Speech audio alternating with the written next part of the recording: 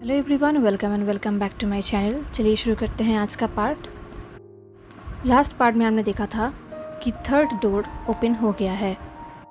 अगर विंग चाहता तो वो अभी के अभी उस रूम के अंदर जा पाता। बट उसका मन नहीं कर रहा था, क्योंकि उसे पता है कि शायद अंदर जाते ही प्रिंस को मुक्ति मिल जाएगी एंड देन प्रिंस चले जाएँगे हमेशा के लिए। बट अभी विंग प्रिंस को खोने के लिए तैयार नहीं था। उसे पता नहीं कि वो तैयार कब होगा बट एटलीस्ट अभी तो नहीं। इतनी जल्दी तो नहीं। तो उसने प्रिंस से रिक्वेस्ट किया कि वो कुछ टाइम बाद जाएगा। तो प्रिंस ने भी उसे कहा कि वो जब चाहे जा सकता है, कोई जल्दबाजी नहीं है। अब एक दिन, जब विंग अपने रूम पे बैठ के पेंटिंग कर रहा था, तब प्रिंस ने कहा विंग गेट पे कोई आया है? ये सुन के विंग शॉक्ड हो गया। वो क्यूरियस भी हो गया। उसने कहा, कौन आया है? ये बोलकर विंग सोच रहा था कि वो इतने टाइम से यहाँ पर है। अभी तक कोई भी यहाँ पर आया नहीं है। देन अचानक से यहाँ पर कौन आ गया है? प्रिंस ने कहा, मैं श्योर नहीं हूँ। कोई बाहर वेट कर रहा है। ये सुन के विंग और भी शॉक्ड हो गया। उसे बहुत ही स्ट्रेंज लगा। सबसे स्ट्रेंज बात यह था कि प्रिंस के वॉइस में कोई वॉरी नहीं था। जैसे कि वो वॉरिड नहीं है कि कोई यहाँ पर आया है। वो बिल्कुल नॉर्मल थे। एंड विंग को ये भी स्ट्रेंज लगा कि अगर कोई यहाँ पर आया है एंड ज़रूर उसके पास कोई इंटेंशन होगा। तो वो इंसान अभी तक कुछ किया क्यों नहीं? वो बाहर वेट क्यों कर रहा है? विंग को बहुत ही अजीब लगा। और विंग से रहा नहीं गया। वो फाइनली उठकर खड़ा हुआ एंड वो फाइनली रूम के बाहर गया। देन वो कोर्टियार्ड से होके पैरिस के गेट तक गया एंड गेट तक जाते ही उसके फेस में स्माइल आ गया क्योंकि उसके सामने उसका जी एंड उसका पार्टनर लियांग थी। विथ लिटिल एप्पल वो दोनों बात कर रहे थे। उन्हें देख के ही विंग ने चिल्ला कर कहा, जो जीजिए। एंड ये सुनते जीजे ने एक बिग स्माइल किया। जीजे ने कहा, अब से फिर से मिलकर अच्छा लगा वेगोंगजा विंग ने कहा, आप दोनों यहाँ पर क्या कर रहे हैं? क्योंकि विंग ने लास्ट उन दोनों को एक महीने पहले देखा था, उसके बाद वो उन दोनों से नहीं मिला था। पहले विंग सोच रहा था कि क्या कोई बैड न्यूज़ है? बट उन दोनों का फेस देख के ऐसा नहीं लग रहा था। उन्हें देख के लग रहा था कि कोई अच्छी खबर ही होगी, क्योंकि उन दोनों के फेस में एक स्माइल था, एक रिलैक्सेशन था। तभी जी ने स्माइल करते हुए कहा, तुम्हारे सीजीए ने तुम्हारे लिए एक लेटर भेजा है। ये सुनते हुए विंग का ब्रीथिंग जैसे रुक ही गया था। तभी जीजीए ने विंग के हाथों में कुछ पेपर्स दिया और कहा, हमें पता नहीं था कि तुम कब वापस टाउन पे जाओगे एंड हमसे मिलोगे। एंड इसलिए हम यहाँ पर आ गए, क्योंकि ये इन्फॉर्मेशन कुछ सेंसिटिव है। हमें लगा कि तुम्हें ये लेटर अभी के अभी पहुँचाना चाहिए। ये सुनते ही विंग बिल्कुल एक्साइटेड हो गया। वो सोच रहा था, ऐसा क्या होगा जो इतना इम्पोर्टेंट होगा? तभी विंग ने लेटर को ओपन किया। लेटर में दो ऐसी चीज़ें मेंशन थे, जिसके ऊपर विंग का ध्यान सबसे पहले गया। एक नेफ्यू एंड दूसरा वन मंथ सेलिब्रेशन ये देखते ही विंग और भी एक्साइटेड हो गया। उसने रेडर को ध्यान से पढ़ा। रेडर में लिखा हुआ था कि विंग कैसा है। सीजे यही होप कर रही है कि विंग ठीक हो। एंड देन सीजे ने एक बड़ा सा न्यूज़ रिवील किया एंड वो ये है कि सीजे का एक बेबी बॉय हुआ है। ये न्यूज़ पढ़ते ही विंग को बहुत अच्छा लगा। उसका स्वीट लविंग सिस्टर का एक बेबी बॉय हुआ है। इतने सालों से सी उसे बेबी की तरह ट्रीट किया करती थी एंड आज सीजे का खुद का एक बेबी है। विंग को पहले से ही पता है कि सीजे को बेबी कितना पसंद है। एंड अब सीजे एक मम्मी है। विंग को तो बहुत हैप्पी फील हो रहा था। उसका एक नेफ्यू हुआ है। वो एक अंकल है। आज विंग एक्सट्रीमली हैप्पी था। देन विंग ने बाकी लेटर पढ़ा। बाकी लेटर में लिखा हुआ था कि बहुत जल्दी सी के बेबी बॉय का वन मंथ सेलिब्रेशन है। तो विंग वहाँ पर इनवाइटेड है। एंड सी चाहती है कि विंग वहाँ पर आए। सेलिब्रेशन में।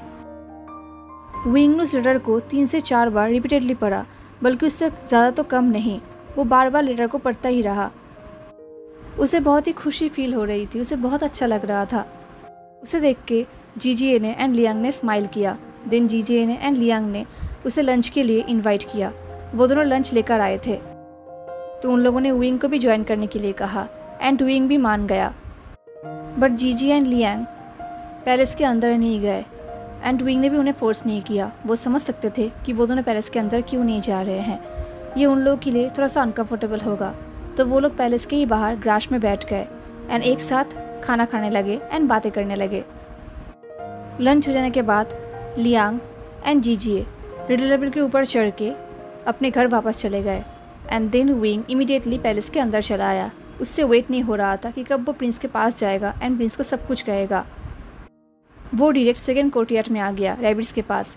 वो उनके साथ खेलने लगा एंड उसने प्रिंस को सब कुछ बताया कि वो दोनों लेडीज़ कौन थी, वो दोनों यहाँ पर क्यों आई थी एंड सीजे ने उसे इन्वाइट किया है।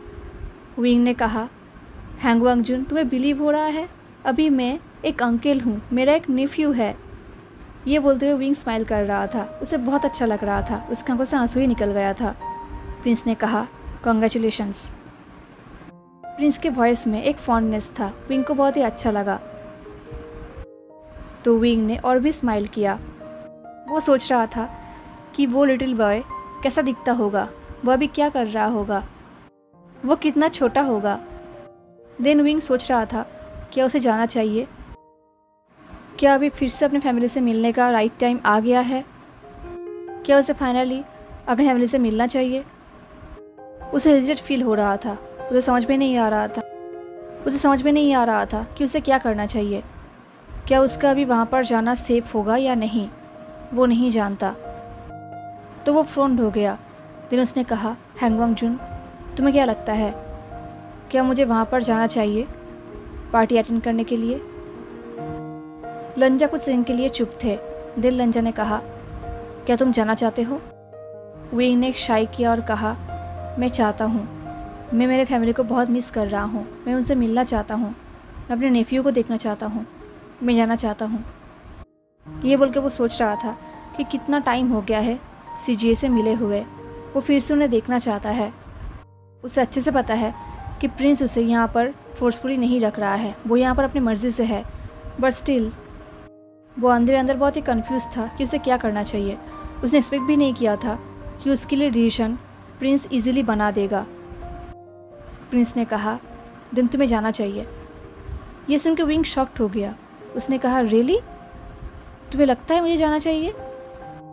आई I मीन mean, क्या तुम्हें लगता है कि यह सेफ़ होगा? प्रिंस ने कहा लगभग एक साल हो गया है तुम्हें यहाँ पर आए हुए अपने टाउन को छोड़कर। तो मुझे नहीं लगता कि अभी भी तुम्हें कोई ढूंढ रहा होगा एंड अगर ढूंढ रहा भी होगा तो फिर कोई बात नहीं, क्योंकि तुम तो वहाँ पर नहीं जा रहे हो ना लोटस पियर में? तुम अपने बहन के पास जा रहे हो लानलिंग में। एंड मोस्ट इम्पॉर्टेंटली अगर कोई डेंजर होता तो आई डोंट थिंक तुम्हारी बहन तुम्हें इनवाइट करती। ये सुन के विंग शॉक्ड हो गया। वो सोच रहा था, सच में उसने तो इसके बारे में सोचा ही नहीं है? उसके दिमाग में ये बात आया ही नहीं है कि अगर वहाँ पर डेंजर होता तो सीजे उसे इनवाइट ही नहीं करती। सच में, लंजा प्रिंस ऐसे ही नहीं है। वो प्रिंस होने का लायक भी है। लंज ने कितना डीपली सोचा एंड इजीली डिसीज़न भी बना लिया। विंग तो बहुत हैप्पी हो गया। दिन फिर से विंग के अंदर एक कंसर्न आ गया। उसने कहा, और तुम? ये बोल के वो प्रिंस के वाइन के ऊपर अपने हाथ को फैलाने लगा। वही वाइन जो उसके हाथों में रैप्ड था। वो सोच रहा था, जब से वो पेरिस में आया है, तब से ऐसा कहीं भी नहीं हुआ है कि वो पैलेस छोड़कर एक से ज़्यादा दिन तक बाहर रहा हो। अगर वो बाहर रहता भी है तो बस वो एक दिन के लिए ही होता है। बट अगर वो सीजे के घर पे जाएगा तो लगभग एक हफ़्ते के लिए जाएगा। तो एक हफ़्ते के लिए प्रिंस को छोड़ के रहना प्रिंस को फीट ना कराना ये तो बहुत ही चिंता की बात है। विंग ने कहा मैं एक हफ़्ते के लिए नहीं रहूँगा तो क्या तुम ठीक रहोगे? आई I मीन mean, तुम्हें भूख तो नहीं लगेगी, तुम स्टर्व तो नहीं करोगे जब मैं नहीं रहूँगा? एक्चुअली विंग इस वजह से वरिड नहीं था। वो एक्चुअली ये सोच रहा था कि उसके ना रहने के लिए प्रिंस उसे मिस करेगा भी या नहीं। बट विंग ये क्वेश्चन पूछ नहीं पाया। तो प्रिंस ने कहा विंग मैं ठीक रहूँगा। एंड वैसे भी, इससे पहले भी मैं बहुत महीनों तक बिना फीट किए रहता था। तो मुझे कोई प्रॉब्लम नहीं होगी। ये बोलने के बाद प्रिंस ने विंग के शोल्डर को स्क्वीज किया। और कहा एंड अगर तुम फिर से वापस आओगे तो मुझे कोई प्रॉब्लम नहीं है. ये सुनते विंग का हार्ट सॉफ्ट हो गया। उसके फेस में एक स्माइल आ गया। प्रिंस के वॉइस में एक सॉफ्टनेस था। उसके साथ साथ एक शॉर्ट डिस्प्रेशन भी था। विंग ने प्रिंस से ये तो नहीं पूछा कि वो उन्हें मिस करेगा भी या नहीं बट विंग को आंसर मिल गया। वो प्रिंस के आंसर समझ गया कि प्रिंस उसे मिस करेगा। तो विंग को अंदर अंदर बहुत ही हैप्पी फील हो रहा था। उसने लंजा के वाइन को किस किया और कहा, भला मैं तुम्हें अकेले छोड़ के कैसे जा सकता हूँ? ऑफकोर्स मैं वापस आऊँगा। ये बोल के विंग सोच रहा था कि वो यहाँ पर है, अपनी फैमिली से दूर तो वो अपनी फैमिली को मिस कर रहा है। बट उसे पता है, जब वो प्रिंस से दूर रहेगा, तब वो प्रिंस को भी बहुत मिस करेगा। तो उसके लिए वापस ना आना इम्पॉसिबल है। देन नेक्स्ट कुछ दिनों में विंग ने जाने के लिए पूरी तैयारी कर ली। उसने अपने लिए न्यू कपड़े खरीदा, बहुत सारी चीज़ें खरीदा, ताकि उसे कोई प्रॉब्लम ना हो। एंड उसने इन दिनों में प्रिंस को कुछ ज़्यादा ही फ़ीड कराया, ताकि उसके जाने के बाद प्रिंस को हंग्री फील ना हो। और फाइनली विंग ने लाललिंग के लिए जर्नी शुरू कर दिया। दिन एक लॉन्ग जर्नी के बाद विंग लानलिंग पहुँच गया। वहाँ पर पहुँचते उसे याद आया कि वो लास्ट पाँच साल पहले लानलिंग आया था। तब से लेके आज तक लानलिंग बहुत ही चेंज हो गया है। वो यही सोच रहा था। तभी कुछ डिसिपल्स आए, जो विंग को उसके बहन की तरफ़ लेके जाने लगे। वो सोच रहा था, सच में सब कुछ कितना चेंज हो गया है। उसे बिलीव नहीं हो रहा कि उसकी बहन फाइनली यहाँ पर रहती है, जो उसका ड्रीम हाउस था, क्योंकि यहाँ पर जिन जिशवान था एंड उसकी बहन जिन जिशवान से बहुत प्यार करती थी। दुनिया में सबको पता है कि लार्लिंग बहुत ही रिच है। एंड अब इनको आसपास का इन्वायरमेंट भी अच्छा लग रहा था। उसे ये देख के अच्छा लगा कि फाइनली उसकी बहन एक अच्छे इन्वायरमेंट में रहती है। वो यहाँ पर कंफर्टेबल है। वो सीधे से मिलने के लिए जितना एक्साइटेड था, उतना ही नर्वस भी था। वो इतने महीने बाद सीजे से मिलेगा। उसका हार्ट बीट भी फास्ट हो गया था। उसके स्टमक में बटरफ्लाईज उड़ रहे थे। उसे पता है कि सेलिब्रेशन में ज़रूर उसका फैमिली भी आएगा। मतलब जियांग चैंग एंड उसके पेरेंट्स उसे पता नहीं कि वो उन सबसे कैसे मिलेगा, उन सबको कैसे फेस करेगा। फाइनली वो सर्वेंट्स विंग को हॉल पे लेकर आया। हॉल पे बहुत सारे लोग थे। उन सारे लोगों में से विंग अपने जीजे को ढूंढ रहा था। एंड फाइनली उसका नज़र सीजे के ऊपर पड़ा। उसने देखा कि सीजे अकेले नहीं है। सीजे के साथ जियांग चैंग भी है। ये देख के विंग का हार्ट और भी सॉफ्ट हो गया। क्योंकि बहुत टाइम बाद वो अपने सिबलिंग्स को देख रहा था। एंड तभी सीजे का नज़र भी विंग के ऊपर पड़ा। एंड विंग को देखते ही सीजे ने एक वार्म स्माइल किया, जो वो हमेशा करती है। इनफैक्ट सरप्राइजिंगली जियांग चंग ने भी स्माइल किया। उसके फेस में बहुत से इमोशन थे, जैसे कि वो हैप्पी है एंड रिलीफ भी है। विंग को देखते ही वो दोनों विंग की तरफ़ आने लगे। सबसे पहले जियांग चंग आ गया। उसने विंग के पास आते ही विंग को बोन क्रशिंग टाइटली हक किया। एंड एक रिलीफ स्माइल किया। विंग को भी बहुत अच्छा लगा। उसने भी जियांग चंग को टाइटली हक कर लिया। एंड कुछ टाइम बाद, जैसे ही वो दोनों अलग हुए जियांग चंग ने विंग के शोल्डर पे एक सॉफ्ट पंच किया और कहा यू इडियट ये सुन के विंग ने स्माइल किया। सच में, उसने अपने भाई को कितना मिस किया है, अपने शिटी को। तभी वहाँ पर जियानियाली आई। उसने भी विंग को टाइटली हक कर लिया। विंग भी जियानियाली के बाहों में जैसे मेल्टी हो गया। उन दोनों की आँखों में आँसू था।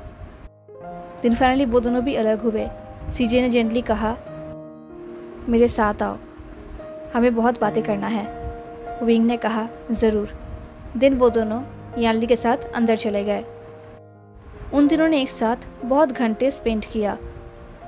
उन लोगों ने बातें किया अपने अपने स्टोरी शेयर किया। विंग ने भी कहा कि उसने एक्चुअली इतने टाइम से क्या किया है? वो पैलेस में कैसे सरवाइव करता है? वो कैसे हंटिंग करता है? कितना एडवेंचर करता है? जेंगटिन ने भी कहा कि एज अ न्यू सेक्रेटर उसका क्या क्या ड्यूटीज़ है। एंड याली ने भी कहा कि वो यहाँ पर कितना हैप्पी है। उन दिनों ने ही अपने अपने स्टोरी शेयर किया एक दूसरे के साथ। दिन फाइनली कुछ टाइम बाद विंग अपने नेफ्यू से मिला, जो कि बहुत ही क्यूट था। विंग को चिल्ड्रंस बहुत पसंद है। वो उनसे खेलना एंड टीज करना पसंद करता है। तो जैसे ही यानली ने जिल लिंग को विंग के बाहों में दिया तब पहले विंग बहुत ही नर्वस था and then Wing Jin Ling के साथ खेलने लगा। बस कुछ ही सेकंड में उन दोनों का बहुत ही अच्छा बॉन्डिंग भी हो गया था। विंग को बहुत अच्छा लग रहा था। वो बहुत ही हैप्पी था एंड देन याली ने कुछ ऐसा कहा, जिससे विंग और भी हैप्पी हो गया। याली ने कहा, एक कर्टिसी नेम सोचो। विंग ने कहा कर्टिसी नेम याली ने कहा हाँ। आचिंग ने कहा है कि आलिंग का कटरसी नेम तुम ही रखोगे। ये सुनते ही जियांग चैंग का फेस रेड हो गया एम्बेरसमेंट से। देन जियांग ने टीस करते हुए कहा, अब अपने तलवार जैसे कोई अजीब नाम मत सोच लेना। ये सुन के विंग हंसने लगा एंड देन फाइनली विंग ने जिन लिंग का कर्टसी नेम रखा, जो था जिन रुलान, जो कि सच में बहुत ही ब्यूटीफुल नेम था। फाइनली इवनिंग हो गया एंड सेलिब्रेशन शुरू हुआ। बहुत सारे गेस्ट आने लगे, उसके साथ साथ जीन एंड जियांग फैमिलीज़ भी आए। Uncle Jiang and madam Yu afternoon में जल्दी ही आ गए। विंग के अंदर उनके लिए एक्साइटमेंट तो था बट वो नर्वस भी था। फाइनली सबसे मिलने के बाद अंकिल विंग के पास आए। उन्होंने कहा आइंग ये बोलकर अंकिल ने अपने हाथ को विंग के शोल्डर पर रखा। उन्होंने कुछ कहा नहीं, पर उनके आइस ने सब कुछ कह दिया। उनका आइस बहुत ही सिंसियर था। उन्हें देख के ऐसा लग रहा था, जैसे कि वो कहना चाहते हो कि उसने उनके बेटी के लिए जो कुछ भी किया, वो वो कभी भी नहीं भूल सकते। विंग को बहुत अच्छा लगा। इनफैक्ट मैडम यू ने भी विंग को अप्रिशिएट किया। उन्होंने कुछ कहा तो नहीं बट उनका आँखों से सब दिख रहा था कि वो भी विंग के काम को अप्रिशिएट करते हैं। आज सच में विंग को बहुत अच्छा लग रहा था। दिन बहुत सारे गेस्ट भी विंग के साथ मिलने के लिए आए। उन्होंने विंग से बहुत सवाल पूछा पैलेस के बारे में बट विंग ने सबको सच तो नहीं बताया, क्योंकि वो पैलेस के सीक्रेट के बारे में सबको नहीं बोल सकता। तो उसने सबको शॉर्टली आंसर दे दिया एंड देन वो मूव ऑन कर गया। सबसे इम्प्रेसिव बात यह था कि विंग ने जिन जिशवन के साथ अच्छे से बात किया, उन दोनों के बीच में एक अच्छा कन्वर्सेशन हुआ, जो कि लगभग इम्पॉसिबल था। विंग को रियलाइज़ हुआ कि अब जिन जिशवान थोड़ा बहुत टॉलरेबल एंड अच्छा इंसान बन चुका है। एंड होगा भी क्यों नहीं? उसके साथ सीजीए रहती है। तो ये सीजीए का ही गुड इन्फ्लुएंस है। पूरा इवनिंग सेलिब्रेशन में ही बीत गया। दिन फाइनली नाइट में विंग अपने रूम पे वापस चला गया। उसका स्टमक फुल था वार्म फ़ूड से एंड एक्सपेंसिव अल्कोहल से। देन फाइनली वो अपने लग्जरी रूम पे वापस चला गया। अपने बेड पे जाकर लेट गया। वो सोच रहा था कि आज का इवनिंग आज का सेलिब्रेशन उसके लिए बहुत ही वंडरफुल था। उसे बहुत अच्छा लगा। थैंक्स टू प्रिंस जो उन्होंने विंग को इंकरेज किया यहाँ पर आने के लिए। विंग अपने ऊपर ब्लैंकेट रैप करके सो गया बट ये ब्लैंकेट प्रिंस के वाइन जैसा नहीं था। उसे प्रिंस के वाइन से जितना आराम मिलता है, वो आराम उसे यहाँ पर नहीं मिल रहा था। बट एनीवेज यहाँ पर प्रिंस तो है नहीं तो उसे यहाँ पर मैनेज तो करना ही होगा। तो उसने अपने आँखें बंद किया एंड वो ड्रीम देखने लगा कि वो प्रिंस के बाहों में है एंड देन वो गहरी नींद में सो गया। सेलिब्रेशन के next day, Jiang Chang and उसके पेरेंट्स कुछ टाइम के लिए रुके थे। तो ये विंग के लिए एक एडवांटेज था। फाइनली वो जियांग चैंग के साथ थोड़ा बहुत हैंग आउट कर पाएगा। तो जियांग चैंग एंड विंग पूरा दिन एक साथ थे। वो दोनों ऐसे इधर उधर घूम रहे थे, मज़े कर रहे थे। उसे बहुत अच्छा लग रहा था। इतने टाइम बाद वो अपने भाई के साथ हैंग आउट कर रहा था। बिल्कुल लोटस पियर की तरह। एंड देन शाम होते ही जियांग फैमिली वहाँ से चले गए। विंग सोच रहा था कि क्या उसे भी अपने घर के लिए अभी निकल जाना चाहिए? हालाँकि वो प्रिंस को बोलकर आया था कि वो एक हफ़्ते के लिए जा रहा है। तो अभी भी उसके पास थोड़ा बहुत टाइम है। तो उसे क्या करना चाहिए? वो यही सोच रहा था। इससे पहले वो कोई डिसीज़न ले पाता, उसके पास याली आ गई। एंड याली ने उसे और भी कुछ दिन रुकने के लिए इंसिस्ट किया। तो विंग भी मान गया, क्योंकि अगर वो यहाँ पर कुछ दिन और रुकेगा तो वो याली के साथ थोड़ा टाइम और भी स्पेंड कर पाएगा। उसे और भी अच्छा लगेगा, क्योंकि वो बहुत टाइम बाद याली से मिल रहा है। तो वो भी आसानी से मान गया। तो उसके नेक्स्ट डेज़ उसका बहुत ही अच्छा गया। इन दिनों में वो अपने बहन, अपने नेफ्यू के साथ बहुत टाइम स्पेंड किया। उसने अपने बहन के लाइफ के बारे में बहुत कुछ जाना। और उसे बहुत ही हैप्पी फील हो रहा था कि यानली इतनी अच्छी पोजीशन में है। उसका इतना अच्छा हस्बैंड है, जो उसे बहुत ही अच्छे से ट्रीट करता है। जैसे कि यानली डिज़र्व करती है। विंग ज़्यादा टाइम अपनी बहन एंड नेफ्यू के साथ ही स्पेंड करता था। एंड बाकी टाइम वो इधर उधर घूमता था कैप टावर में। आज शाम को डिनर के बाद वो ऐसे ही बाहर घूम रहा था। गार्डन में। उसे रियलाइज़ हो रहा था कि उसे पता तो था कि वो प्रिंस को बहुत ही मिस करेगा। बट अब जब वो सच में मिस कर रहा है, उसे रियलाइज़ हो रहा है कि वो उन्हें कितना मिस कर रहा है। वो लंजे से मिलने के लिए तड़प रहा है। वो उसे कितना मिस कर रहा है। वो उसके प्रेजेंस को मिस कर रहा है। उसके टच को मिस कर रहा है। उसके वार्मनेस को मिस कर रहा है। वो यही सोचते हुए ऐसे ही गार्डन में घूम रहा था। तब उसने देखा कि गार्डन के एक बेंच पे यानली अकेली बैठी हुई है। तो उसने दूर से यानली को रीड किया। तो यानली ने उसे अपने पास बुलाया। तो विंग भी यानली के पास जाकर बैठ गया। यानली ने कहा, आलिंग अभी सो रहा है। इसलिए मैं फ्रेश एयर लेने के लिए यहाँ पर आकर बैठ गई। विंग ने नोट किया। इनफैक्ट विंग ने पूछा तक नहीं था बट फिर भी यानली ने बताया। अभी रात हो चुकी थी। आसमान में तारे एंड चाँद साफ़ दिख रहे थे। वो दोनों ऐसे साइलेंटली बैठे हुए थे एंड आसमान को देख रहे थे। विंग बैठे बैठे प्रिंस के बारे में ये सोच रहा था। देन कुछ टाइम बाद यानली ने अपने बेटे के बारे में बात करना शुरू किया। तो विंग को लगा कि वो डिस्ट्रैक्ट हो जाएगा। बट ऐसा नहीं हुआ। वो यानली के बात को सुन तो रहा था, बट उसके दिमाग में सिर्फ़ लंचे के बात ही घूम रहा था। वो सोच रहा था कि वो लंजे को कितना मिस कर रहा है। वो सोच रहा था कि उसके मन में जो फीलिंग है लंजे के लिए, वो क्या फीलिंग है वो उसे भी नहीं पता। वो कन्फ्यूज़ है। वो नहीं जानता कि वो ये कन्फ्यूज़न कैसे दूर करेगा। एंड तब उसे याद आया कि उसके सामने जो इंसान बैठा है, सिर्फ़ वही उसे समझ सकती है। शायद वही उसका कन्फ्यूज़न दूर भी कर सकती है। तो उसने कहा, सीजिए। सीजिए ने कहा, बोलो आशियान। विंग ने डिटेलली कहा, आपको आपको कैसे रियलाइज़ हुआ कि आप जिन गोंगजा के साथ शादी करना चाहते हैं? ये सुन के याली ने एक सॉफ्ट स्माइल किया। वो सरप्राइज़ थी। उन्होंने कहा, आशियान, तुमने अचानक से ये क्वेश्चन क्यों पूछा? ये बोल के याली ने विंग के हाथ को पकड़ा। और सॉफ्ट स्माइल करते हुए कहा, क्या तुम्हारे लाइफ में कोई स्पेशल है? ये सुनते विंग का फेस जैसे रेड हो गया। वो शायद भूल चुका था कि यानली उसे रीड कर सकती है। सबसे ज़्यादा वही उसे समझती है। तो ऑफकोर्स विंग के क्वेश्चन से ही यानली समझ गई थी। तो विंग ने चाइल्डिश पाउट करते हुए कहा सीजिए सीजे ने हँसते हुए कहा, ठीक है ठीक है। वेल आई थिंक मुझे हिस्ट्री बोलने की ज़रूरत नहीं है राइट विंग ने नोट किया। उसे पता है कि यानली किस बारे में बात कर रहा है। विंग जानता है कि बचपन से ही यानली एंड जिशोन का शादी तय हो गया था, क्योंकि madam Yu and madam Jin बहुत ही अच्छे दोस्त थे एंड देन जब वो लोग टीनेजर थे, तब उनका रिलेशन अच्छा नहीं था। जिशोन ने यानली को बहुत इंसल्ट किया था, जिसकी वजह से विंग जिशोन को पसंद भी नहीं करता था। एंड देन ये शादी ऑलमोस्ट टूट ही गया था।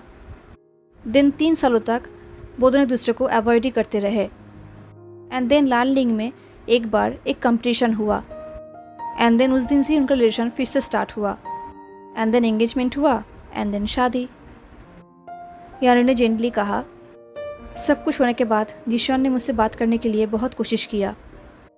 पर मैंने उसे तब से बात करना शुरू किया, जब उसने मुझसे प्रॉपर माफ़ी मांगी। देर मैं उससे बात तो करता था बट डिस्टेंस बनाए रखता था। बहुत ही कम बात करते थे हम। दिन बहुत महीने बाद हम दोनों ने प्रॉपर बात करना शुरू किया बट उसने कभी भी हार नहीं माना। वो कंटिन्यू ट्राई करता रहा। हम जब भी मिलते थे, वो मेरे साथ गार्डन में वॉक करने के लिए जाता था। वो हमेशा मुझे मेरी लाइफ के बारे में, मेरे इंटरेस्ट के बारे में क्वेश्चन किया करता था। मुझसे बात करते वक्त वो बहुत ही नर्वस एंड ऑकवर्ड फील करता था। बट फिर भी वो कोशिश करता रहा एंड देन मुझसे रहा नहीं गया। एंड मैं फाइनली समझ गया कि वो अच्छा इंसान है। देन एक साल के लिए हम सिर्फ़ बातें ही करते रहे, उससे ज़्यादा कुछ भी नहीं। एंड देन तुम्हें तो पता ही है कि हमारा शादी ऑलरेडी फिक्स्ड हो चुका था तो वो मुझसे पूछता था बहुत बार कि मैं सचमुच से शादी करना चाहता हूँ या नहीं। मैं तब श्योर नहीं था। मैं उसे कहती थी कि मैं श्योर नहीं हूँ बट स्टिल वो बुरा बिहेव नहीं करता था। वो मुझे हमेशा रेस्पेक्ट एंड स्वीटली ट्रीट भी करता था। दिन जब मुझे लगा कि उसका फीलिंग उसकी बातें, उसका बिहेवियर जेनुइन है, तब मैंने माँ से कहा कि शादी की तैयारी किया जाए। मैं शादी के लिए प्रिपेयर हूँ। एंड देन हो गया शादी। क्या तुम्हें तुम्हारा आंसर मिल गया है? विंग फ्रोंड हो गया। टेक्निकली यही आंसर था बट विंग कुछ और सुनना चाहता था। विंग का क्वेश्चन का आंसर ये नहीं था। शायद उसने क्वेश्चन ही गलत किया है। विंग के फेस देख के याली समझ गई। याली ने कहा, क्या तुम मुझसे कुछ और पूछना चाहते हो? विंग कुछ टाइम के लिए चुप था। दिन उसने कहा आई थिंक मैं आपसे ये पूछना चाहता था, कि आपको कब पता चला कि आप उससे प्यार करते हैं? ये सुन के याली कुछ टाइम के लिए साइलेंट थी। जिन्होंने अपने हेड को शेक किया एंड स्माइल किया और कहा, आशियान, क्या तुम ये सब प्रिंस के लिए पूछ रहे हो? एंड ये सुनते ही विंग का पूरा फेस वार्म हो गया। फिर से यार्ली उसे समझ गई। उसने अपने फेस को छुपाने की बहुत कोशिश किया, पर वो छुपा नहीं पाया। उसने ब्लश करते हुए कहा, आपको कैसे पता? याली ने सॉफ्टली स्माइल किया और कहा, मुझे डाउट हो रहा था, क्योंकि जब भी तुम उसके बारे में बात करते हो, तुम्हारा एक्सप्रेशन तुम्हारा आइज़ बिल्कुल चेंज हो जाता है। तुम और भी ग्लो करते हो, तुम्हारा आइज़ और भी ब्राइट हो जाता है। ये सुनते ही विंग शॉक्ड हो गया। उसे पता भी नहीं था कि वो ऐसा बिहेव करता है। वो एम्बेरस से फील कर रहा था। बट उसे ये देख कर अच्छा लगा कि इसका मतलब उसका फीलिंग प्रिंस के लिए रियल है। वो डेल्यूशन में नहीं है। अगर उसके फेस में फीलिंग दिखता है देन ये रियल है। ये सोचते हुए विंग को रिलीफ फील हो रहा था। याली ने इनक्रेज करते हुए कहा, मुझे उसके बारे में थोड़ा बताओ। मैं जानना चाहूँगा कि वो कैसा इंसान है जिसने मेरे भाई का दिल जीता है। ये सुनते विंग का फेस और भी हॉट हो गया। फाइनली उसने गिव अप कर दिया। एंड देन उसने प्रिंस के बारे में बात करना शुरू किया। उसने कहा कि प्रिंस का एक्चुअल नाम लांग वांग जी है। वो मोस्ट पावरफुल क्लैन के सेकेंड प्रिंस थे। वो एक बहुत ही पावरफुल कल्टिवेटर थे। एंड देन एक दिन हुली जिंग आ गया। एंड उन्हें कर्ज दे दिया। उसके बाद उनके फैमिली कहीं और मूव कर गए एंड वो वहाँ पर अकेले पड़ गए। उसने ये भी कहा कि प्रिंस गुचिन भी प्ले किया करते थे एंड पैलेस में रैबिट्स भी हैं जो सेंचुरीज से रह रहे हैं प्रिंस के साथ एंड प्रिंस उन्हें प्रोटेक्ट भी करता है। उसने कहा कि प्रिंस कितने जेंटल क्वाइट एंड स्वीट हैं। उनके बारे में वाइन्स के अलावा कुछ भी नहीं है बट वो बहुत ही अच्छे इंसान हैं। जब भी विंग को कंफर्ट की ज़रूरत होता है, जब भी विंग अपसेट होता है प्रिंस विंग को हक करने की कोशिश करते हैं एंड कंफर्ट करने की कोशिश करते हैं। विंग ने यह भी कहा कि जब वो कुछ हफ़्ते पहले इंजर्ड हो गया था, तब कैसे प्रिंस ने उनका ख्याल रखा था? कैसे प्रिंस ने उसे बचाया था? एंड देन उन लोगों ने स्नोबॉल फाइट किया। एंड अभी प्रिंस उसके लिए कुकिंग करते हैं लॉन्ड्री करते हैं इनफैक्ट उसके लिए बर्थ भी रेडी करता है। यार्ली ने कहा, देन लांगवांग जी तो बहुत ही अच्छे इंसान है। वो तुम्हारा बहुत केयर करता है। सडनली किसी और के मुँह से लंजा का नाम सुन के विंग को बहुत ही ऑकवर्ड लगा। बट हाँ सीजिए सही कह रही है। तो उसने कहा हाँ वो करता है। ये बोलते हुए विंग का आँखों में आँसू आ गया। बट उसने अपने को कंट्रोल किया। उसने कहा, मैं उसे अपना एनर्जी देता हूँ, जिसके वजह से वो स्ट्रांग होता है। एंड एवरी डे पर और भी स्ट्रांग होता है। विंग ने यह नहीं कहा कि वो प्रिंस को एनर्जी कैसे देता है, क्योंकि सीजे को वो सब बोलना बहुत ही एम्बेरसिंग होगा। विंग ने कहा, वो जितना स्ट्रांग होता है, वो मेरे लिए उतना ही ज़्यादा काम भी करते हैं। ये देख के मेरा भी मन करता है कि मैं भी उनके लिए कुछ करूँ। उसके साथ रहना मुझे अच्छा लगता है। इससे पहले मुझे ऐसा फील कहीं भी नहीं हुआ है। तो ये बोलने के बाद विंग चुप हो गया। याली ने कुछ टाइम बाद कहा तो तुम यही सोच रहे हो कि उसके लिए तुम्हारा फीलिंग प्यार है या नहीं? सडनली विंग का फेस वार्म हो गया। उसने नोट किया। उसे पता है कि वो ये सब बातें किसी और के साथ शेयर नहीं कर सकता सिवाय यानली के क्योंकि यानली से शेयर करना सेफ़ है। यानली जज नहीं करेगी। यानली उसे समझती है। याली ने कहा वेल well, मुझे तुम्हें कुछ सवाल करने दो ठीक है? क्या तुम्हें ऐसा लगता है कि तुम उससे किसी भी बारे में बात कर सकते हो? एंड वो हमेशा तुम्हें सुनने के लिए रेडी है? विंग ने कहा हाँ। ये बोल के विंग ने स्माइल किया एंड नोट किया, क्योंकि ये बात सच है। वो प्रिंस से कुछ भी शेयर करता है एंड उसे बहुत ही सेफ़ फील होता है एंड कंफर्ट भी फील होता है। एंड प्रिंस कुछ कहे भी नहीं, उसे चुपचाप सुनते भी हैं। प्रिंस हमेशा उसे सुनने के लिए रेडी है। चाहे विंग कितना भी बकवास क्यों ना करे प्रिंस कहीं भी अनोय नहीं होते। वो कहीं भी परेशान नहीं होते, बल्कि वो हमेशा विंग को सुनते हैं। याली ने पूछा, क्या तुमने कभी भी अपने एंड प्रिंस के फ्यूचर के बारे में इमेजिन किया है? विंग ने कहा हाँ बहुत बहुत बार एक्चुअली ये बोल के विंग सोच रहा था कि उसे भी पता नहीं कि उसने कितने बार उन दोनों के फ्यूचर के बारे में सोचा है, कितने बार उनका फ्यूचर इमेजिन किया है, कि वो हमेशा प्रिंस के साथ पैलेस में ही रहेगा। वो दोनों एक साथ रहेंगे। उसके पास कुछ भी करने का फ्रीडम होगा। वो बहुत हंटिंग करेगा एक्सप्लोर करेगा। एंड देन एवरी नाइट सोते वक्त प्रिंस अपने वाइन्स उसके ऊपर रैप करके रखेंगे। याली ने कहा एंड जब तुम प्रिंस के पास वापस जाते हो, क्या तुम्हें ऐसा लगता है कि तुम घर पे जा रहे हो? क्या तुम्हें घर जैसा फील होता है? ये सुनते विंग के पूरे बॉडी में गुजाम्स आ गए क्योंकि उसे एग्जैक्टली exactly यही लगता है।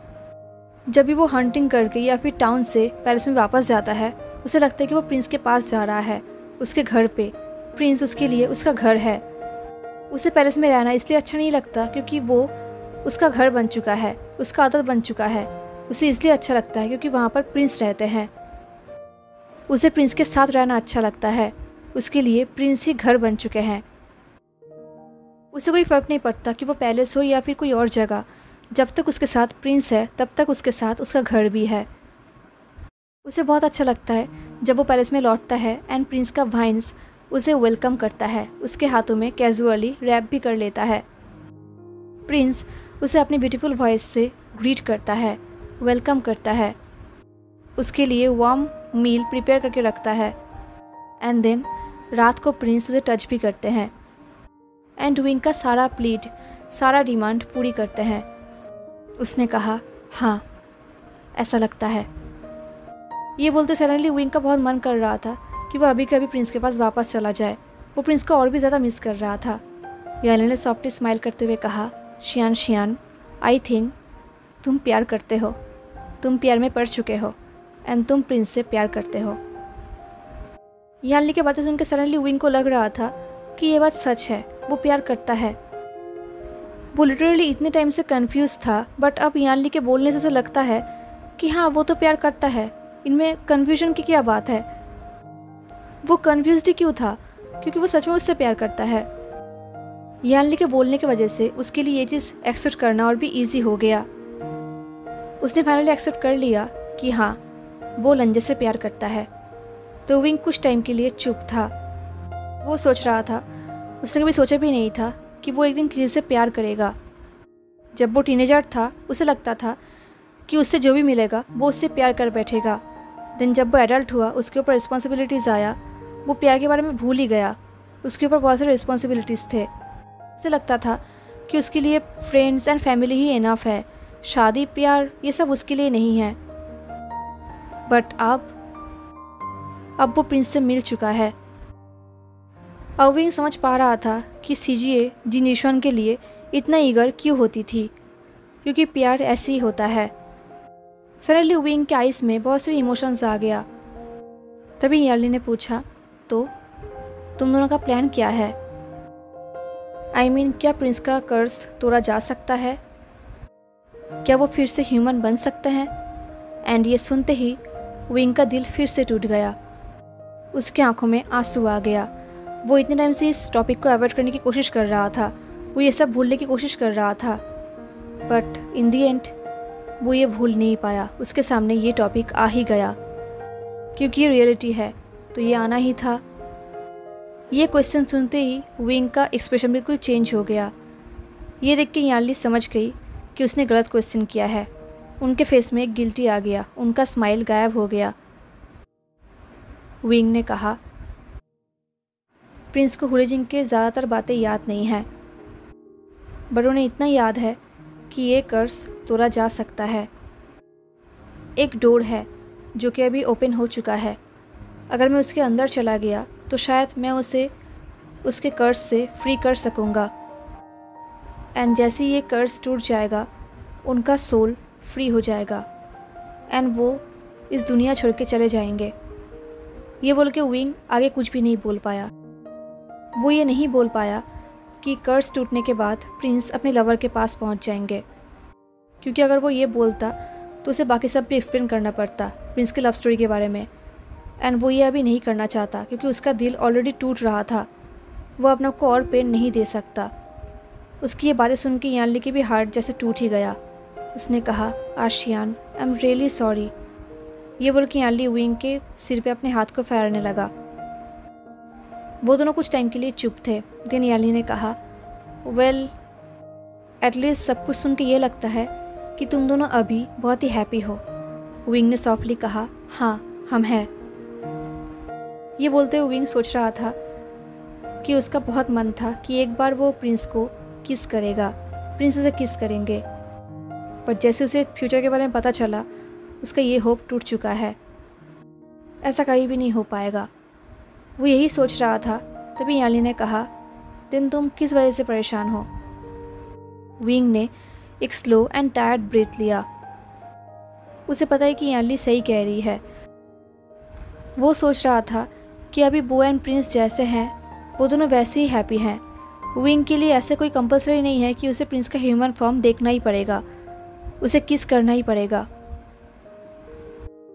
प्रिंस को खोने से अच्छा कि वो दोनों ऐसे ही रहे। बट विंग ने कहा अब सही कह रहे हो।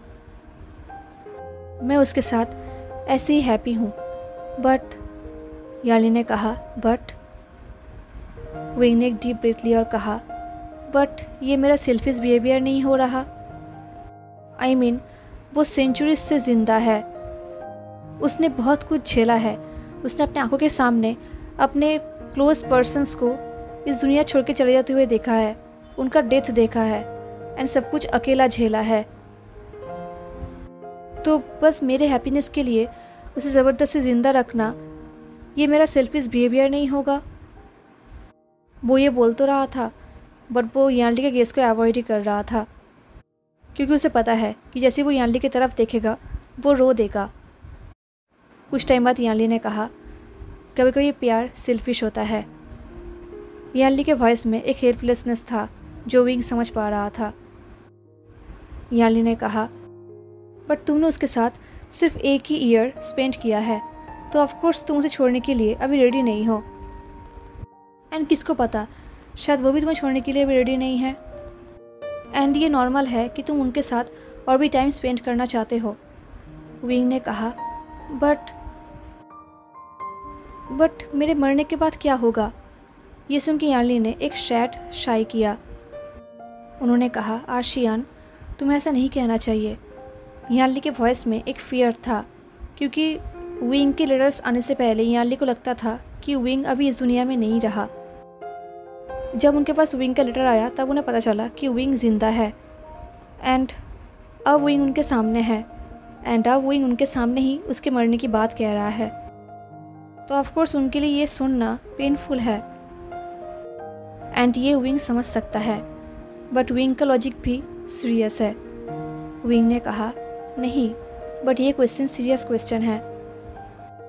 वो इमोटल हो सकता है बट मैं नहीं, मैं एक नॉर्मल इंसान हूँ।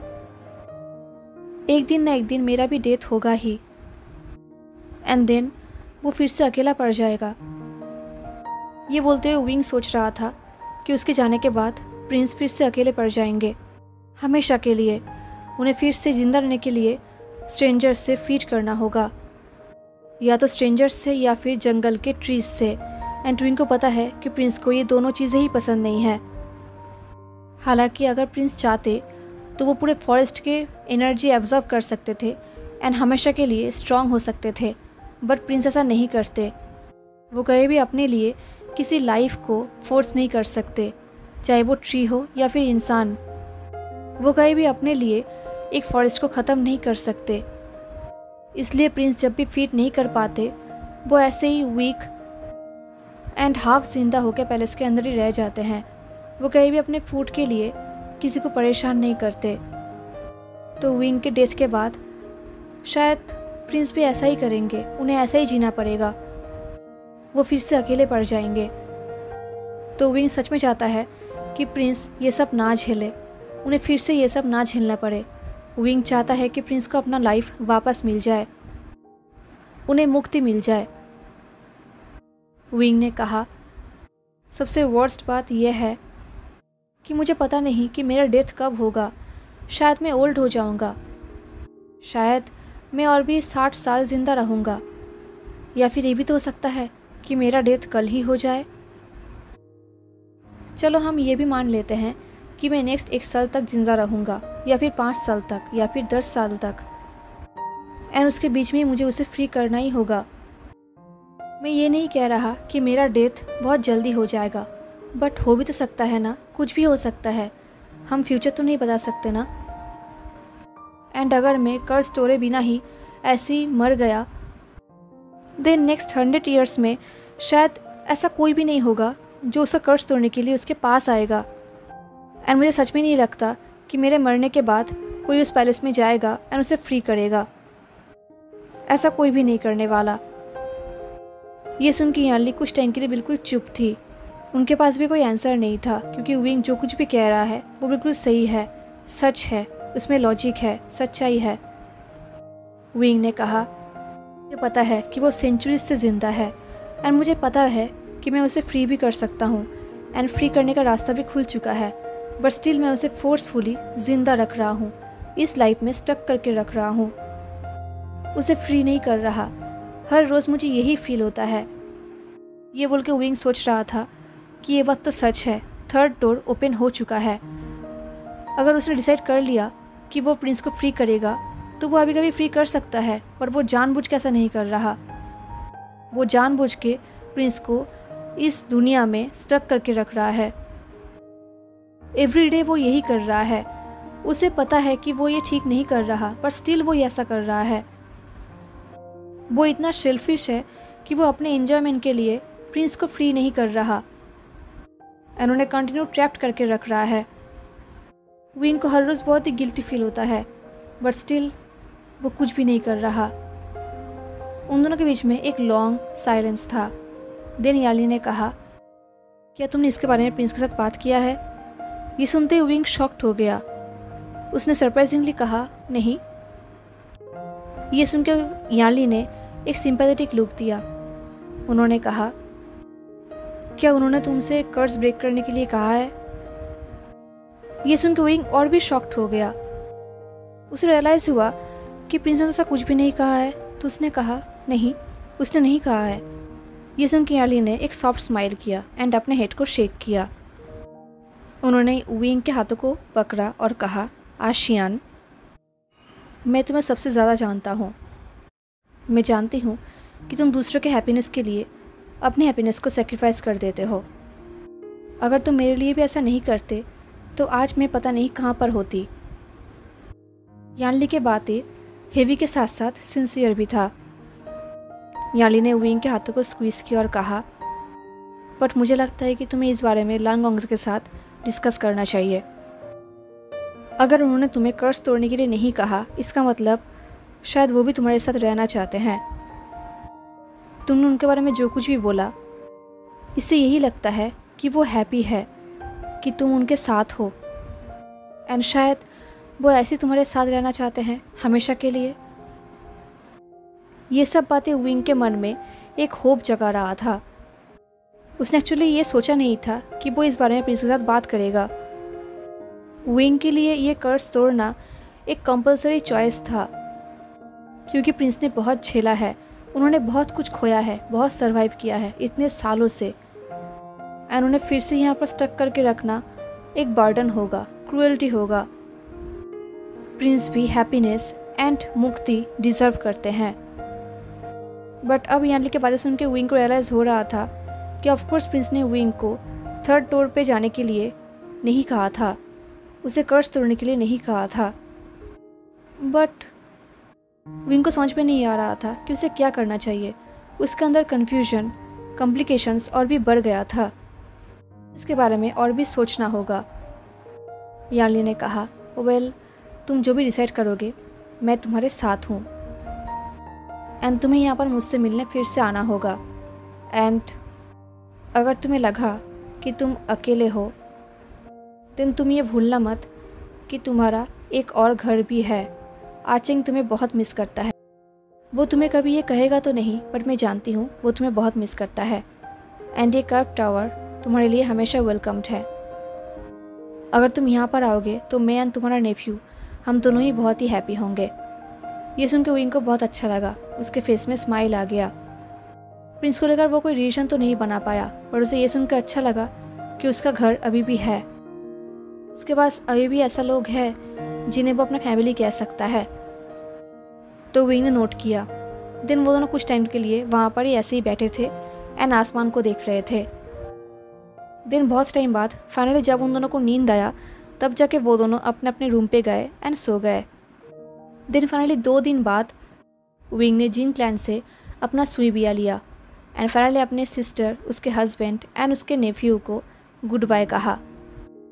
एंड लाल लिंग से निकल गया अपने प्रिंस के पास जाने के लिए। इस बार उसके साथ उसका सुई बिया था। तो उसे पता है कि अगर वो फ्लाई करके जाएगा तो वो बहुत ही जल्दी पहुँच जाएगा प्रिंस के पास। शायद आज रात के पहले ही पहुँच जाएगा। उसके अंदर बहुत सारे इमोशंस थे। वो बहुत ही एक्साइटेड था एंड थोड़ा सा नर्वस भी था। उसने प्रिंस को बहुत मिस किया है, इतना मिस किया है कि वो कह भी नहीं सकता। उसने अभी तक कोई रिलेशन तो नहीं बनाया है प्रिंस को लेकर। बट एनीवेज अगर वो प्रिंस से मिलेगा, तब जाके उसे अच्छा लगेगा। यही सोचते हुए वो फ्लाई करने लगा। अब वो लगभग पैलेस के पास की एक टाउन में पहुँच गया। इस टाउन से पैलेस एक घंटे की दूरी में है। विंग को भूख लगी थी। तो उसने सोचा कि वो यहाँ पर ही खाना खा ले। तो उसने टाउन पे लैंड किया एंड वो एक वेंडर के पास जाकर खाना खाने लगा। वो ऑलमोस्ट खाना फिनिश करने ही वाला था, तभी किसी ने उसके कपड़े को खींचा। उसने देखा कि उसके पास एक बच्चा खड़ा है, जो कि चार या फिर पाँच साल का होगा। उसे देख के विंग ने कहा लिटिल बडी क्या बात है? विंग को लगा कि शायद वो बच्चा खाना चाहता है बट उस बच्चे ने कोई आंसर नहीं दिया। वो विंग के कपड़े को और भी खींचने लगा।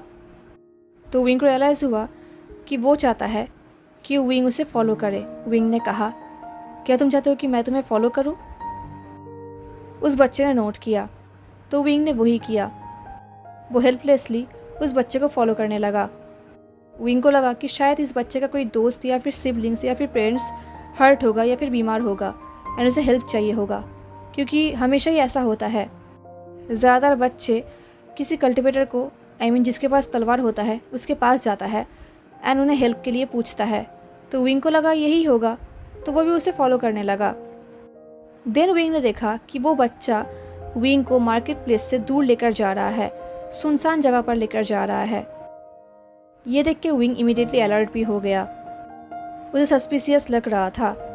विंग ने देखा कि वो बच्चा उसे दो हाउसेस के बीच में एक नैरो एली वे है, वो उसे वहाँ पर लेकर जा रहा है।